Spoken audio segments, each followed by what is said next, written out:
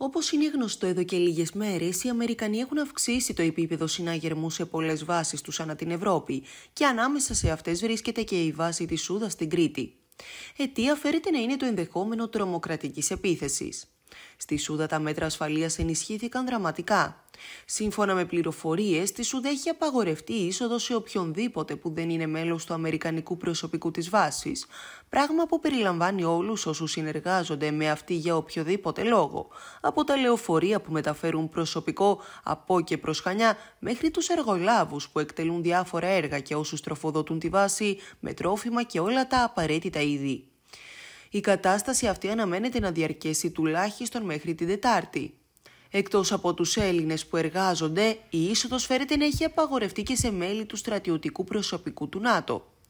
Είναι η πρώτη φορά τουλάχιστον τα τελευταία 20 χρόνια που συμβαίνει κάτι τέτοιο.